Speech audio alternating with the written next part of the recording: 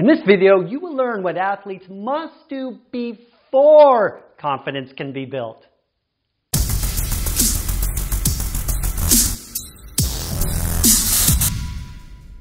Let's use baseball because this sport is really tough on the ego, and this is why so many players come to me for confidence building. Well, the truth of the matter about building confidence is you must first clear out the things that block or prevent it before you can ever do any building of it. Now, here's what I mean pitchers, they're primarily measured for how many earned runs they give up.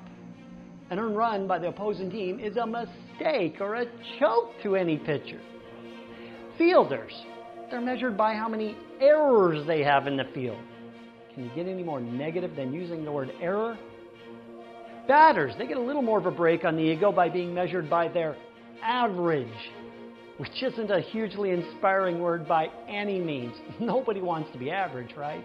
And If that isn't enough, there's countless ways to describe all the ways batters make mistakes, such as strikeouts, pop-outs, groundouts, flyouts, foulouts, can of corn, lazy grounder, weak pop fly, hard grounder to short, get robbed by the fielder, hit into a double play, fielder's choice, and it goes on and on. For all the ways you can mess up. And for pitchers, it's no better. Why, you'd think baseball is obsessed with mistakes.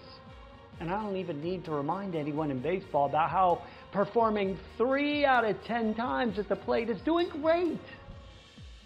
And this takes a huge toll on the psyche of any player. And it's actually going to have like a build-up effect if a player doesn't learn how to clear out the mistakes.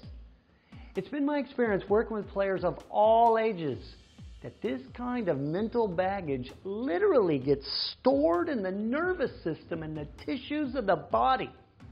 And it later interferes with the player's ability to perform.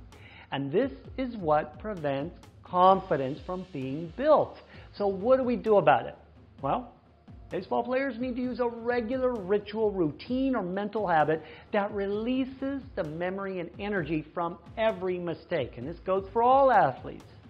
For example, I know of a softball team that brings in a real, non working porcelain toilet into the dugout every game. Every batter, after making an out, goes back into the dugout and pulls down the handle and flushes away the event. Now, this may sound silly, but it works very well to clear the mistake from the mind since we've all done this movement many times, and the metaphorical meaning makes it emotionally powerful to release old emotions. Another trick is to go ahead and give yourself a specified amount of time to be angry, frustrated, disappointment, and do what you need to do within sportsmanship to express out the mistake. For example, you might give yourself 30 seconds if you're on the bench or, or 10 seconds if you're in the field. Okay, I'm going to be angry for 10 seconds. Here I go. Allowing yourself to feel that anger does not mean you act angry. Those are two different things.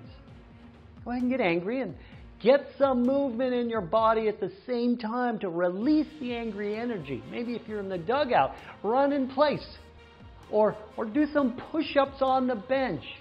That's how you express it out. If you're in the field, just maybe just wiggle or shake your arms and legs while imagining the anger and disappointment is flowing out of your body. My, my favorite strategy to clear the chokes is what I call the mistake maker technique. And this is where you imagine that there's a part of you that causes you to make mistakes. And after you make a mistake in your mind, you go and blame and dump all over him or her for causing you to make that mistake. All the while, you're great, except for those mistakes that he's causing you to do. When you're done ripping on him, you forgive him to let it go. We all have a mistake maker. The job is to help you learn things. We don't have to make the same mistakes. Every mistake is completely unique and you learn from them. And that's your mistake maker's job to help you with that and to take the heat from it. That's why you can forgive them. All right? I have a guided visualization to take you through the whole thing with my assistance in the Mental Toughness Academy and, and uh, the Advanced Mental Toughness. However, you decide to clear out your mistakes, this is a tremendously valuable mental skill that will set you up to play to your potential create a clean foundation for building confidence from the successes you have and will have. Let's do this. I'm Craig Sigl, your mental toughness trainer.